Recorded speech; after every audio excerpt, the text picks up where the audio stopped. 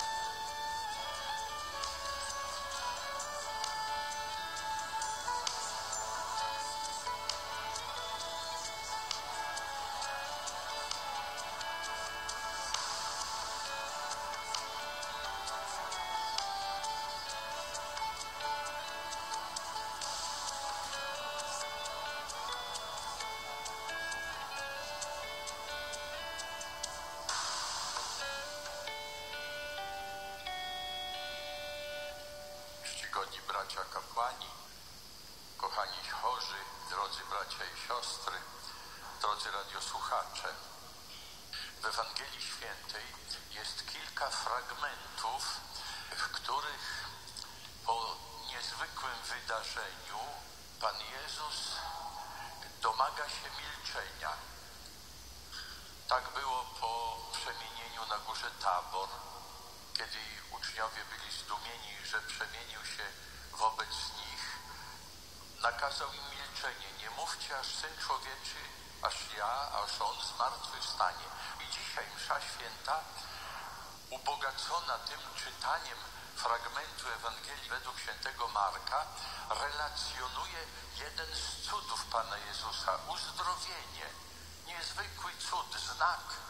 I Pan Jezus, uzdrawiając tego głuchoniemego, potem domaga się milczenia. Nikomu o tym nie mówcie. Oczywiście rozgłaszali to ludzie, ale Pan Jezus zastrzegał, domagał się milczenia. Bibliści mówią, że chodzi o tak zwany cud mesjański, o przekazanie pewnej tajemnicy, misterium mesjańskiego, tajemnicy wiary, która się wiąże z posłannictwem Chrystusa jako Mesjasza. Proszę zobaczyć, że właśnie choroba staje się tym cudem, który pomaga przekazać Panu Jezusowi tajemnicę mesjańską, tajemnicę zbawienia, niezwykle ważną. Warto więc dzisiaj może popatrzeć wspólnie na chorobę. Jakie jest nasze spojrzenie na chorobę i jakie jest spojrzenie Pana Jezusa w dzisiejszej Ewangelii, ale w ogóle także spojrzenie Pana Jezusa na chorobę, na chorych. Wiemy, że choroba jest niemocą, słabością, jest brakiem zdrowia, jest dolegliwością, jest niekiedy cierpieniem i uważamy to za przykre doświadczenie, tę chorobę. Pan Jezus też uważał za przykre doświadczenie. I kiedy ludzie go z żywą wiarą prosili, przychodził z pomocą, uzdrawiał, naprawiał ten porządek, który był popsuty nie przez Pana Boga, nie zamierzony przez Pana Boga. Przez Pana Boga zamierzona była natura człowieka doskonała, wolna od tych dolegliwości. Jest więc tu jakaś, jakaś tajemnica już w samym tym wydarzeniu choroby. Jest to przykre doświadczenie. Szukamy przyczyn, staramy się wyzwolić z tego doświadczenia przykrego. I to nie jest przeciwne woli Bożej, żebyśmy prosili, żebyśmy szukali sposobów na uzdrowienie, ale jednocześnie przyjmowali ją. Jeśli taka jest wola Boża, jeśli ja w ten misteryjny, ten tajemniczy świat zbawienia przez moją chorobę mam się włączyć, to przyjąć powinienem wolę Bożą. Jest w Ewangelii Świętego Jana takie wydarzenie, że Pan Jezus uzdrawia niewidomego od urodzenia. Ale kiedy ten niewidomy się zwrócił, zbliżał, ludzie pytali, kto zgrzeszył? Młody człowiek, kto zgrzeszył? On czy rodzice jego, że się urodził niewidomy? My też nieraz tak się zastanawiamy, jaka jest ta przyczyna, kto tu winien, kto zawinił. Niekiedy bywa tak, że to nie jest przyczyna ludzka, że to nikt nie zawinił. Pan Jezus odpowiada, ani on nie zgrzeszył, ani rodzice jego. Taki się urodził, żeby się na nim wypełniła wola Boża. I Pan Jezus, żeby się niezwykłe rzeczy dokonały.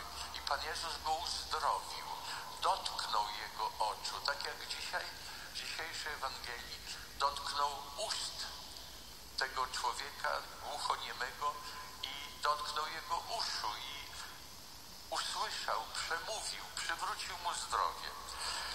Nie tak dawno przeczytałem taki artykuł, właściwie w Rycerzu Niepokalany na ten miesiąc, na luty, jest taka relacja z takiego bardzo ciekawego przeżycia człowieka, historię jego życia, który się nazywa Nick Wójcic. To jest z Australii człowiek. Dzisiaj ma 30 parę lat. Urodził się zupełnie bez rąk i nóg. U jednej z nóg w korpusie ma resztki dwóch palców tylko. Początkowo jako dziecko to jest bardzo ciężka choroba, rzadka. Jako dziecko uważał, że tak powinno być, że miał życzliwość rodziców, opiekę, więc nie przeżywał tej tragedii swojej. Ale potem, kiedy rodzice go posłali do szkoły, skonfrontowali z rzeczywistością życia, w którym się znalazł, zauważył, że inne dzieci mają ręce, nogi, że mają pewne sprawności, a on tego nie ma. Załamał się. Nawet chciał, mając 10 y, lat, chciał popełnić samobójstwo, chciał się utopić. Ale poznał człowieka niepełnosprawnego, który się nie poddał i miał sukcesy w sporcie i w życiu. I on pomyślał, że i on może mieć. Równolegle spotkał się z tą Ewangelią, o której wspomniałem. Kto zgrzeszył? On czy jego rodzice, że się urodził niewidomy? To samo do niego go dotknęło. Przecież to ani ja, ani moi rodzice nie są winni, że ja się taki urodziłem. I zaczął zastanawiać się, pogłębiać, nawiązał kontakt z Panem Bogiem i stwierdził, że wszystko jest możliwe, że i przed nim życie się otwiera. Ma sprawność umysłową. I zaczął używać właśnie tej sprawności intelektualnej, tego umysłu do urządzenia swego życia. Dzisiaj założył firmę, dzisiaj jeździ ze świadectwami po, po całym świecie, ożenił się, ma czworo dzieci, ma 30 parę lat i pisze, że bez tej choroby nie byłoby naszej przemiany duchowej, nie byłoby mojego zbliżenia się do Boga, nie byłoby tego optymizmu życiowego, który pokonując trudności, on przeżywa. Niezwykłe wydarzenie, wprost nieprawdopodobne, a znany jest w wielu krajach, bo jeździ z tym świadectwem właśnie jako człowiek radosny, szczęśliwy. Okazało się, że choroba nie powinna, nie może załamywać człowieka. Wartość choroby jest niewątpliwie różnorodna i chorobę można wykorzystać do czegoś dobrego, do czegoś godnego.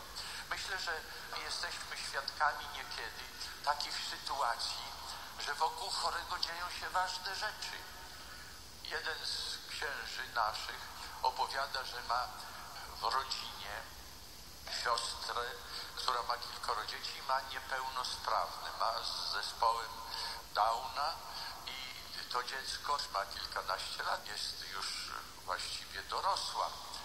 I jak reagują rodzice? Początkowo był pewien szok, ale dzisiaj mówią, że ona jest centrum, była przez całe życie centrum ich życia rodzinnego. Ile razy wracali do domu z myślą o niej wracali, do niej się zwracali. Ona była tym, tym punktem odniesienia i dzisiaj, kiedy te inne dzieci już jak ptaki dojrzałe wyfrunęły z gniazda, wokół niej ich życie się ubogaca. Myślę, że chory w domu niejednokrotnie promieniuje też taką potrzebą pokonywania egoizmu, że człowiek sam chory musi go pokonać, ale też wyzwala z innych ludzi życzliwość, dobroć. Naturalnie ci ludzie niejako się pozbywają egoizmu własnego i chętnie ofiarowują te życzliwe słowa, czy te życzliwe gesty, czy ten czas dla tego drugiego człowieka. Myślę, że to bardzo ważne i bardzo piękne, że człowiek przez to doświadczenie przykre, bolesne, może jednak ubogacać innych, że przez chorobę może wyzwalać dobro z innego człowieka. To dobro może być różnorodne. Święty Paweł w liście do Galatów stwierdził, że dzięki jego chorobie, chorobie, którą przeżył między nimi, wśród nich dolegliwość długotrwała, dokonała się ewangelizacja tych ludzi, bo otworzyło się ich serce przez otwarcie wobec chorego, zobaczyli, że jest autentyczny, że ich kocha, że jemu zależy na nich, uwierzyli. W innym znów miejscu, w liście do Koryntian, pisze, że on dziękuję Panu Bogu za swoją chorobę, bo otrzymał tę chorobę, abym się nie wynosił zbytnio wobec objawień, wobec darów, które otrzymał. Został mi dany oścień Pana i mimo, że kilkakrotnie prosiłem Pana Jezusa o uzdrowienie, o uwolnienie mnie, o zabranie mi tej przykrości, tego upokorzenia choroby, usłyszałem od Pana Boga, że wystarczy Ci mojej łaski, bo moc w słabości się doskonali. My mamy prawo też prosić Pana Boga. Chory ma prawo prosić o uzdrowienie. Wzywamy nieraz Matki Bożej, niejednokrotnie doznajemy tych cudów. Uroczystość czy święto, wspomnienie Matki Bożej z Lourdes. To jest też, ludzie jadą do Lourdes, ale jest tam pewien taki pomnik w Lourdes, Włoszki, która przyjechała z Włoch do Lourdes, do Francji, prosić o zdrowie ciała, o uwolnienie z choroby cielesnej, ale uzyskała uzdrowienie duchowe, odzyskała wiarę i postawiła ten pomnik, że z wdzięcznością, że uratowane zostanie jej życie wieczne. Właśnie choroba jest niejednokrotnie też czasem, który otrzymujemy od Pana Boga, żebyśmy dobrze go przeżyli, dobrze przeszli, żebyśmy odzyskali wiarę, pogłębili wiarę. Niekiedy choroba jest po to, żeby Pan Bóg oczyścił moje serce, żeby ono zbliżyło się do Pana Boga i zbliżyło do ludzi w inny sposób, żebyśmy ich zaczęli kochać ofiarą, modlitwą, naszym cierpieniem, naszą, naszym wzrostem w wierze i miłości, bo Bóg jest miłością. Jeśli my się do Boga nie upodobnimy w jakiś sposób, Pan Bóg nie rozpozna nas. Pan Bóg rozpozna nas, jeśli jesteśmy i weźmie nas do nieba. Chrystusa. To jest wielkie zadanie No, dla nas, tak. dla każdego i zdrowego i chorego. I właśnie przez chorobę jesteśmy świadkami często, że No człowiek dobra, dobra, dobra. odkrywa ten głębszy świat nadprzyrodzony, że zbliża się do Boga. I mamy przykłady nawet w naszej polskiej historii, nawet ostatnich lat. Mamy przykłady nawrócenia największych prześladowców Kościoła, komunistów, którzy po wojnie prześladowali Kościół. Jest takich przykładów wiele. A w ostatnim momencie nawracają się, zwracają myśl do Pana Boga. Ktoś im to wymodlił, ktoś im pomógł, ktoś im podpowiedział drogę do uratowania życia wiecznego. Myślę, że to wielka sprawa, choroba, żebyśmy jej nie zmarnowali. Jest jeszcze jeden właśnie ten motyw choroby. Zobaczcie, ludzi zdrowych w relacji do chorych. Ten dzień chorego, w Polsce, jest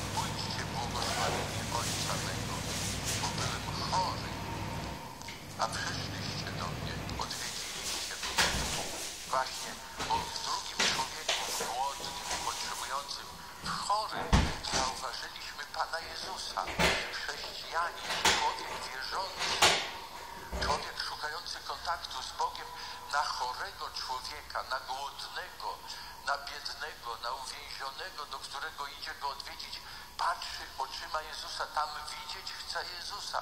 Pan Jezus tak chciał. Byłem chory, byłem chory. Kiedyś Cię widzieliśmy chorym. Kiedy uwięzionym? W każdym z nich byłem ja.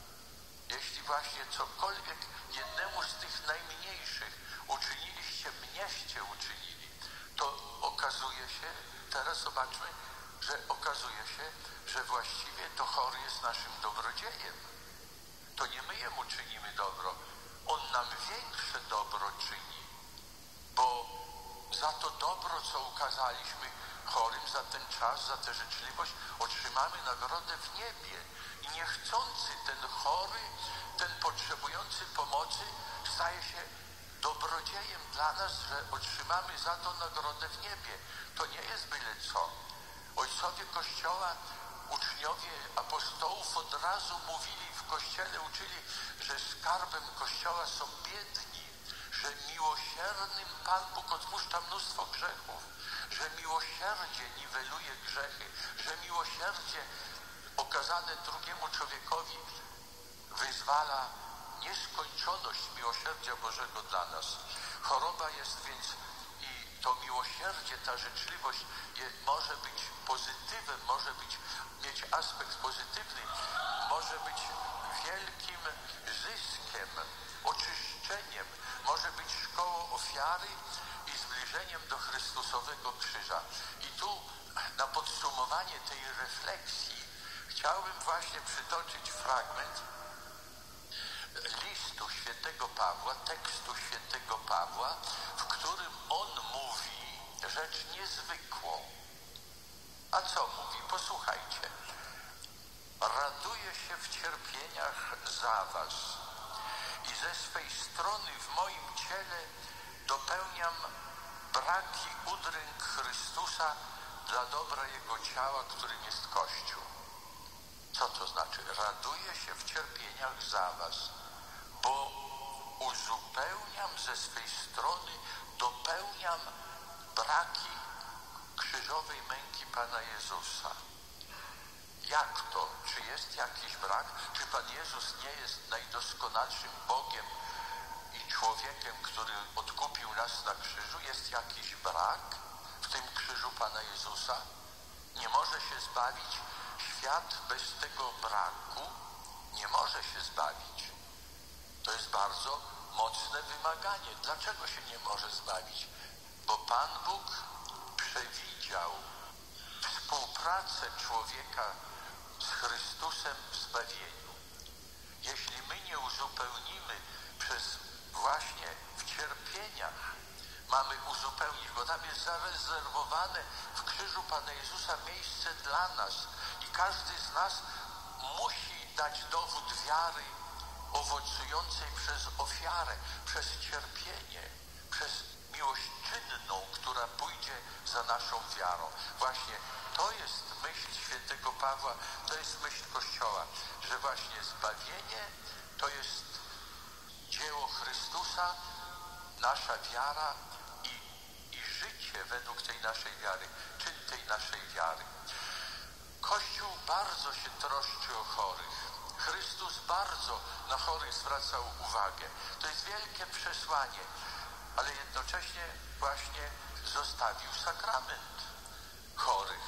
Ma, choruje ktoś między wami, wezwijcie kapłanów Kościoła. Niech się modlą nad nimi. Niech namaszczą olejem w imię Pana. A modlitwa pełna wiary będzie dla chorego ratunkiem Pan go podźwignie. A jeśli by popełnił grzechy, będą mu odpuszczone. To jest właśnie słowo apostoła, który zostawia polecenie kapłanom wobec chorych. Dzisiaj przeżyjemy właśnie to w Kościele w Polsce, na całym świecie przeżywamy właśnie to spojrzenie na chorobę i to umocnienie, to umocnienie wiary, ale też niejednokrotnie umocnienie zdrowia, że człowiek przyjmuje to, tę Bożą dłoń wyciągniętą do niego. Sakrament namaszczenia chorych właśnie jest tym umocnieniem człowieka, które Pan Jezus zapowiadał wielokrotnie po swoim zmartwychwstaniu. Idźcie i głoście Ewangelię, uzdrawiajcie chorych, wskrzeszajcie umarłych, oczyszczajcie trędowatych. To Pan Jezus powiedział do apostołów, powiedział do, do kapłanów, czyli jest moc. Dlaczego ona się nie realizuje? Realizuje się, w wielu wypadkach się realizuje. Są liczne te i te msze święte uzdrowienie i modlitwy, są i cuda, kanonizacje, beatyfikacje świętych, są cuda sprawdzone, niewątpliwe, ale i sami wiemy dobrze, że niejednokrotnie Pan Bóg przychodzi z pomocą, Matką Najświętszą, przez jej przyczynę, przez przyczynę jakichś świętych, czy kandydatów na ołtarz, czy zmarłych naszych prosimy, przychodzi ulga. Jeśli nie ma cudownych uzdrowień, jeśli nie ma nadzwyczajnych wskrzeszeń umarłych, to przyczyna jest braku naszej wiary. Pan Jezus powiedział, gdybyście mieli wiarę jak ziarko gorczycy, powiedzielibyście tej górze przesuń się, a się przesunie. A więc problem wiary jest dla nas wyzwaniem, żebyśmy szukali pogłębienia wiary, żebyśmy w tej wierze wzrastali przez kontakt z Panem Jezusem, przez miłość czynną, że przez modlitwę, przez gorliwość wielką. Myślę, przez większy, codziennie, każdego dnia powiększany, pogłębiany kontakt z Panem Bogiem. Żeby przyjąć sakrament namaszczenia chorych, mówi Kościół, że trzeba, żeby była choroba poważna, nieśmiertelna. To nie jest sakrament dla umarłych. Dla umarłych dawniej ludzie myślę, że to już jak nieprzytomny, to wezwać księdza. Nie. To jest jak to sakrament żywych. To jest sakrament dla żywych ludzi, ale w poważnej chorobie będących, ale nieśmiertelnej. Każda choroba prawdziwa choroba. Także przed operacją na przykład, starość, a też dzisiaj poproszę księdza proboszcza o namaszczenie. Mam już swój wiek, mam już swoje dolegliwości. Też chcę przeżywać je tak, jak Pan Bóg chce, żebym przeżywał. Więc myślę, że właśnie żebyśmy wiedzieli, że w każdej chorobie prawdziwej, czy znanej innym ludziom, czy nie, możemy i powinniśmy zwracać się do Pana Boga i szukać Jego pomocy, żebyśmy właśnie i ulgi doznali tej cielesnej, ale też jednocześnie, żebyśmy jej nie zmarnowali. Owocem tego sakramentu, tego namaszczenia chorych jest łaska Boża. Łaska umocnienia. Jest też, jak słyszeliśmy, właśnie, jeśli by popełnił grzechy, będą mu odpuszczone. Na początku przy świętej przepraszaliśmy Pana Boga za nasze grzechy. Jeszcze i przed namaszczeniem za chwilę pomodlimy się o miłosierdzie Bożej. Jest, jeśli człowiek nie może się wyspowiadać w chorobie, czy z jakiejś racji, właśnie tu przychodzi łaska Boża. Pan Jezus odpuszcza te grzechy. Jednocześnie jest to konsekracja, przez to namaszczenie jest konsekrowane cierpienie tego chorego. Pan Bóg go przyjmuje, włącza w krzyż Chrystusowy. Namaszczenie chorych jest dobrą okazją przygotowania na śmierć, na spotkanie z Panem Bogiem, które nastąpi kiedyś. I trzeba, żeby chrześcijanin wierzący uświadomił sobie, że przyjdzie moment, kiedy się będę mógł spotkać z Panem Bogiem. Kiedy się spotkam, ja żyję na świecie po to, żeby kiedyś przejść do nieba, do zbawienia, a jednocześnie, żebym mógł wrócić do zdrowia, że jeśli jest taka wola Boża. I wielu ludzi Pan Bóg przywraca do zdrowia. Na koniec chciałbym powiedzieć, że właśnie, że sakrament namaszczenia chorych, przygotowując nas na śmierć, jest bardzo realną pomocą w życiu człowieka. Bo nie wiadomo jaki ten ostatni moment będzie. Są niektórzy święci, którzy bardzo cierpieli, cierpieli pokusy, przeżywali obecność szatana. Święty Marcin, przecież znamy, to jest wielki biskup, patron Francji, wielki biskup, który dobrze czynił, gdy przyszedł moment, szatan walczył o jego duszę. I on go widział i odpędził go precz, szatanie, ja innemu Panu służę. Nie chcę od Ciebie żadnej pomocy, żadnych pokus mi nie podpowiadaj. To jest też wielka sprawa, żebyśmy tej choroby, tego doświadczenia, które mamy, nie zmarnowali. Pamiętajcie, od Waszej modlitwy, od modlitwy chorego zależy bardzo wiele. Możemy usłużyć Kościołowi, Chrystusowi pomóc w dopełnianiu tej męki zbawczej. Możemy usłużyć narodowi naszemu, modląc się za ojczyznę, Kościołowi, bliskim naszym. Możecie ochronić najbliższych, których kochacie właśnie cierpieniem znoszonym z miłością i ofiarowanym Panu Bogu. On będzie widział i On doceni, i On uzupełni i pomoże właśnie zrealizować to dobro. Już na koniec takie osobiste wspomnienie. Kiedy byłem biskupem w Gorzowie, seminarium tam było oddalone od mieszkania biskupa kilkadziesiąt kilometrów i często tam zajeżdżałem. Były tam w tym czasie siostry szarytki i one usługiwały, prowadziły ten dom właściwie, to seminarium. I była tam starsza siostra, pełna takiego optymizmu, już chodziła słabo i kiedyś tam zauważyli klerycy, że ma całe za ręce opuchnięte i czarne. Wylewy, jakieś guzy. Była bardzo cierpiąca, okazało się. Czy to siostrę nie boli? Boli. No ale co, i siostra tak chodzi, a mówi, nogi mam takie same. I, ale no jak to jest? I ona mówi tak, proszę księdza biskupa, ja znoszę to wszystko z nadzieją, że kiedyś te wszystkie ławki, a tam mieli kaplicę słabo, ale był piękny kościół pocysterski, duży, pełno ławek. I mówi, ja proszę Pana Boga, żeby kiedyś wszystkie te ławki były wypełnione przez powołania kapłańskie. Proszę zobaczyć, rzeczywiście tych powołań tam dzięki Bogu nie brakowało, chociaż były potrzeby kapłanów, się ciągle powoli uzupełniało. Do dzisiaj oni mają w tamtych stronach więcej niż inne diecezje. Ktoś może myśleć, jakie to metody, jakie co. Miłość rodzi miłość. Miłość właśnie człowieka ofiarna, chorego, cierpiącego z miłości ofiarowane rodzi miłość w innych sercach. Rodzi miłość w Bogu, w Bożym sercu. Pan Bóg potrafi odpowiedzieć na naszą miłość w sposób sobie wiadomy. I po to przyszliśmy dzisiaj, żeby Go poprosić, żeby pozwolić Mu, żeby w naszych sercach zrobił porządek taki, jaki On sam uzna za właściwy. Żeby w naszych sercach zrodziła się miłość do drugiego człowieka, do naszych kłopotów, może do naszych chorób i także do zamiarów Bożych, które Bóg poprzez nas chce dokonać. Amen. W ramach katechezy dzisiejszej z Kościołem w trzecie tysiąclecie wysłuchaliśmy homilii, którą wygłosił Jego Ekscelencja ksiądz arcybiskup Józef Michalik, biskup senior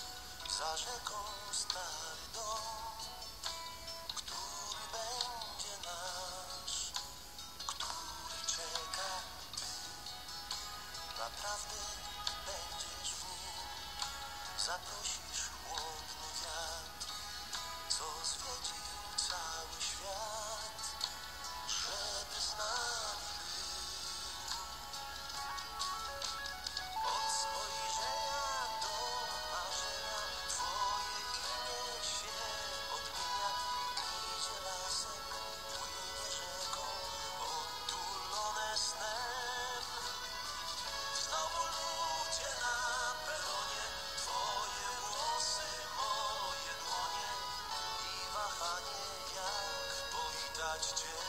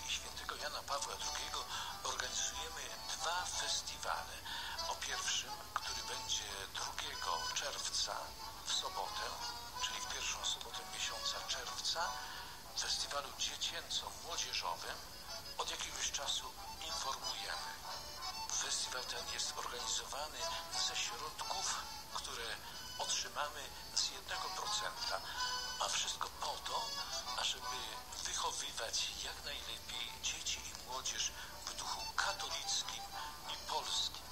Oczywiście będą nagrody, będzie możliwość zapłacenia dzieciom i młodzieży podróży, no i jeszcze zobaczymy, to wszystko jest do omówienia. Patrzcie Państwo na portal Radia Maryja. Ale jeszcze jedno, proszę Państwa. Oczywiście drugi festiwal, który będzie wcześniej od młodzieżowego, dziecięco-młodzieżowego. Drugi festiwal seniorów, także przy naszym sanktuarium. Festiwal 19 maja bieżącego roku, też sobota. Każdy zespół ma wykonać dwa utwory o tematyce maryjnej i o naszej ojczyźnie patriotycznej. Oczywiście, tak jak już powiedziałem, tematyka festiwalu jest związana z obchodami stulecia niepodległości Polski.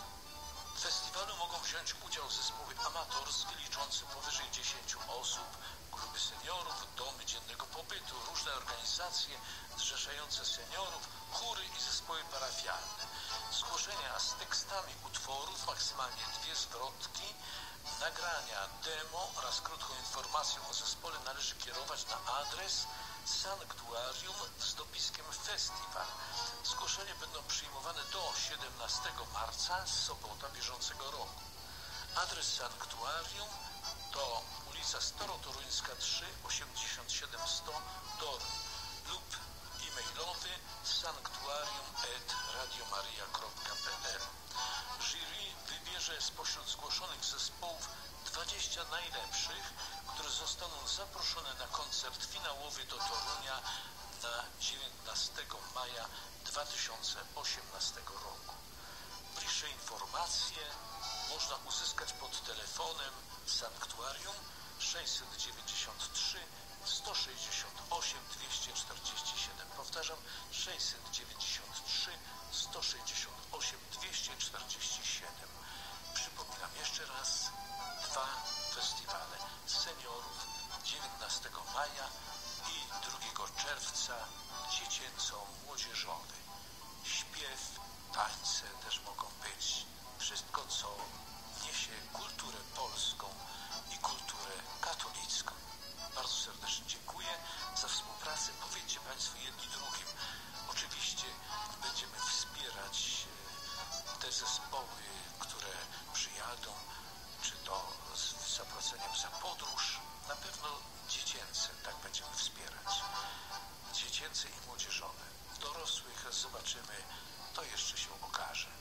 Na pewno zapłacimy tym zespołom dziecięcym, młodzieżowym podróż, e, najprawdopodobniej jedzenie tutaj, no i nagrody będą także. A to wszystko z jednego procenta dla wychowania dzieci i młodzieży w duchu katolickim i patriotycznym. Proszę Państwa, nie lekceważcie tego jednego procenta. Jeden procent z podatku, a więc te bity wszystkie, wypełniajmy, e, róbmy wszystko. Każdy, każdy grosz liczy się, żeby wspierać to, co katolickie Boże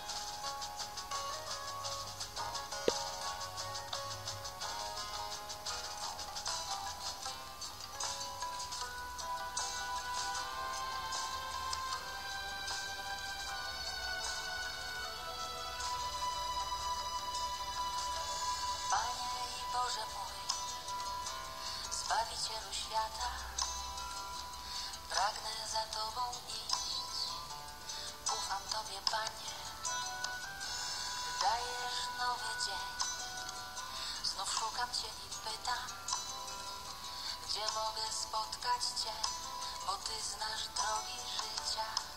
Droga z Tobą przez cierpienie, przeznaczeniem jest zbawienie. Moim światłem miłosierdzie Twoje jest. Droga z Tobą przez cierpienie, przeznaczeniem jest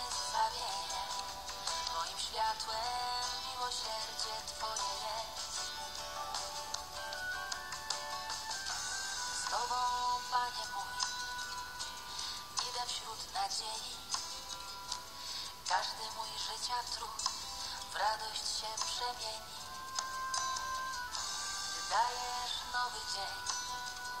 Znów szukam Cię i pytam, gdzie mogę spotkać Cię, bo Ty znasz drogi życia.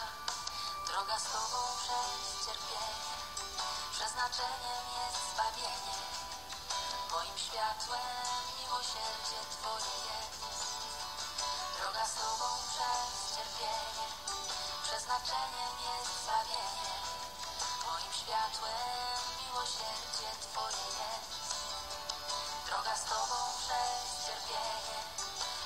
jest zbawienie. Moim światłem miłosierdzie Twoje jest. Droga z Tobą przez cierpienie, przeznaczeniem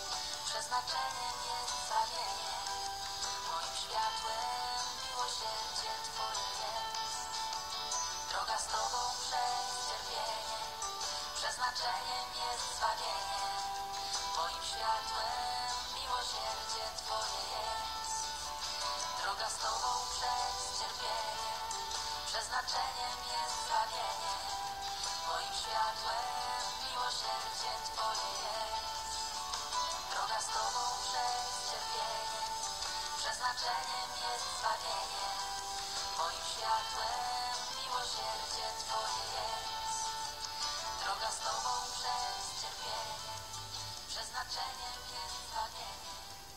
Moim światłem